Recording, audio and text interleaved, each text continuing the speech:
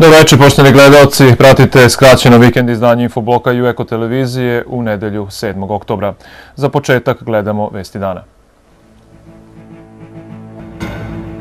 Najavljivana rekonstrukcija ulice Dimitrije Tucovića jedno vreme još neće početi, kažu direkciji za izgradnju opštine. U fabrici Hemos potpisan predlog sporazuma o saradnji Vatrogasnih saveza Vojvodine i Županija Čongrad i Bač Kiškun. U knjižari Plato održana promocija knjige Sve crvenkape su iste, beogradskog pisca Marka Vidojkovića. I sutra će se zadržati promenjivo oblačno vreme, najviša temperatura oko 18 stepeni. Najavljivana rekonstrukcija ulice Dimitrije Tucovića jedno vreme još neće početi, kažu u direkciji za izgradnju opštine. Problem je nastao jer urbanisti nikako da se dogovore sa investitorom kako ta ulica treba u buduće da izgleda i koja će biti njena funkcija, odnosno da li će biti šetalište ili ne. Obzirom da to rešenje, znači, kako je predloženo, znači nije e, prošlo ni u planu detaljne regulacije, komisiju za planove, utoliko pre smatramo znači da ajde još tu treba da vidimo koje je najoptimalnije rešenje za organizaciju te ulice. Ja se nadam da će radovi početi u toku ove građevinske sezone. Palić je danas bio mesto okupljanja vatrogasaca. U fabrici Hemos potpisan je predlog sporazuma o saradnji Vatrogasnih saveza Vojvodina i Županija Čongrad i Bač Kiškun. Na taj način obeležen je početak regionalne saradnje vatrogasaca. Na Paliću je danas održano i opštinsko vatrogasno takmičenje. Sporazum bi trebalo da doprinese poboljšanju uslova rada i zajedničkom delovanju vatrogasaca sa severa zemlje i iz Mađarske. Potpisnici očekuju da se i rumunski borci protiv požara uključe u regionalni savez, čije sedište je u Segedinu. Vatrogasci na ovaj način, osim ostalog, žele da dođu i do novca za obnavljanje zastarele tehnike.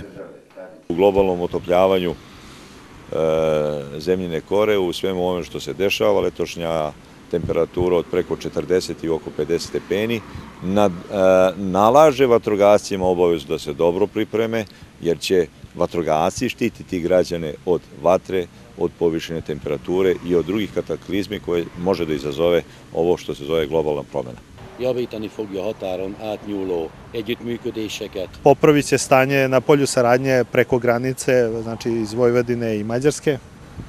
És a tűzoltó egyesületek közötti barátságokat fogják erősíteni. Znači, jačaće ovu saradnju, prijateljstvo između vatrogasnih saveza na teritoriji Mađarske i ove strane Srbije ili Vojvodine. A od ranih jutarnjih sati na terenima futbolskog kluba Palić odrađano je opštinsko vatrogasno takmičenje u organizaciji Vatrogasnog saveza Subotice. Prvi, drugi nas, napred, krenio se da! Deca iz Subotice i okoline, kao iz Mađarske, izvodili su vatrogasne vežbe, a bila je zamišljena situacija gašenja požara. Podeljeni su u tri grupe, vatrogasni podmladak, juniori i seniori. Ovo takmičenje mi znači jako puno, onda opredelila sam se zato što zbog putovanja, zbog druženja nalazim nove drugare.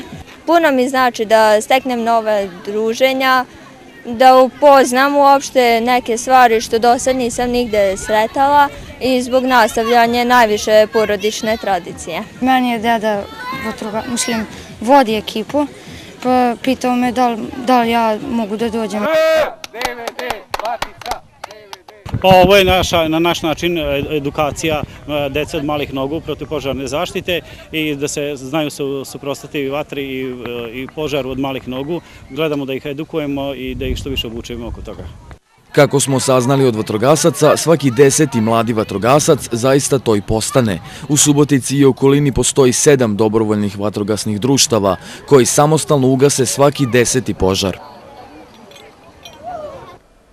U knjižari Plato sinoć je održana promocija knjige Sve crvenkape su iste. Autor knjige je 32-godišnji beogradski pisac Marko Vidojković.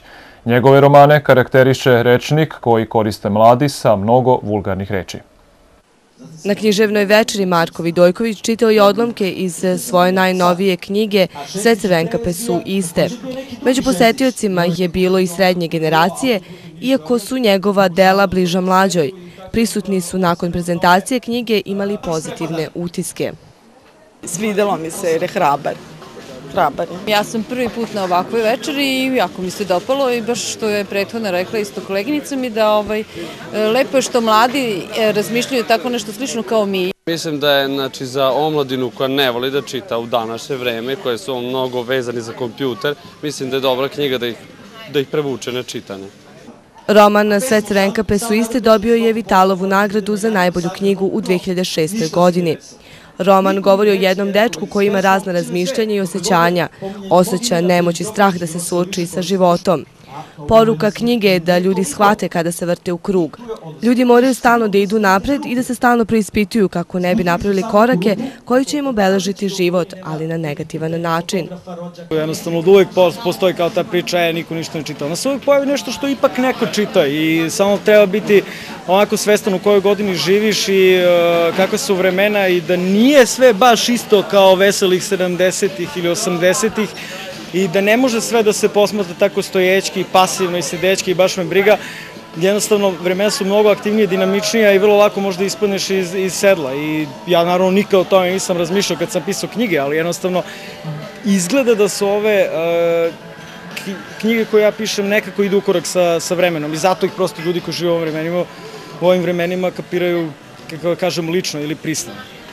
Za ime Marka Vidojkovića vezuju se još i romani Ples sitnih demona, Đavo je moj drug, Pikavci na plaži, Kanđe, za koju je dobio priznanje zlatni bestseller i nagradu Kočićevo pero. Takođe objavio je i 30 priča u časopisima. Njegovi romani su prevedeni na slovenački, nemački i engleski jezik.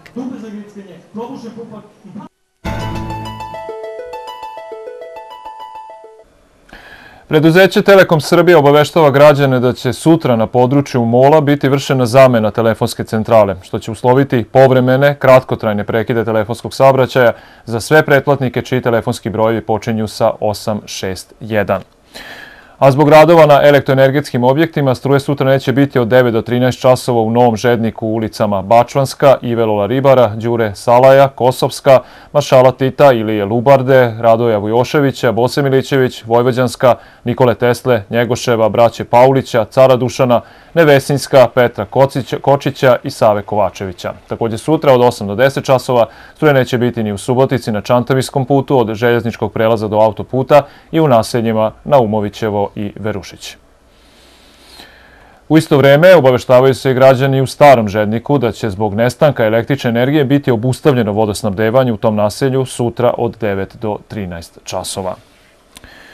A Subotička toplana podsjeća korisnike daljinskog grejanja da je u toku punjenje unutrašnjih instalacija. Zato se mole građani da obrate pažnju na svoje unutrašnje instalacije i bilo kako curenje prijave dispečerskom centru toplane na telefon 548-383. Takođe se obaveštavaju korisnici daljinskog grejanja da otklone neispravnosti, kao i da sve započete radove na sanaciji ili adaptaciji unutrašnje instalacije centralnog grejanja odmah završe kako bi izbegli štetu zbog eventualnog izlivanja vode.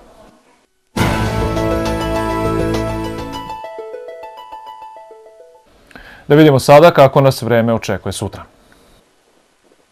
Meteorolozi za sutra predviđaju promenjivo oblačno vreme. Prepodne će biti pretežno sunčano, dok će popodne biti umereno oblačno. Duvaće slab severni vetar. Minimalna jutanja temperatura biće oko 8, a maksimalna dnevna oko 18 stepeni. Biometeorološke prilike će sutra biti relativno povoljne. Većina ljudi će se osjećati dobro i neće imati tegobe uzrokovane vremenom, ali kod meteoropata se može javiti glavobolja, razdražljivost i slabije raspoloženje. I na kraju sledi još jednom podsjećanje na najvažnije vesti. Najavljivana rekonstrukcija ulice Dimitrije Tucovića jedno vreme još neće početi, kažu direkciji za izgradnju opštine. U fabrici Hemos potpisan predlog sporazuma o saradnji Vatrogasnih saveza Vojvodine i Županija Čongrad i Bač Kiškun. U knjižari Plato održana promocija knjige Sve crvenka pesuiste beogradskog pisca Marka Vidojkovića. I sutra će se zadržati promenjivo oblačno vreme, najviša temperatura oko 18 stepeni. Poštovni gledalci, bilo je ovo skraćeno izdanje Infobloka u nedelju 7. oktobra. Hvala na pažnji i ostanite i dalje uz program Jueko televizije.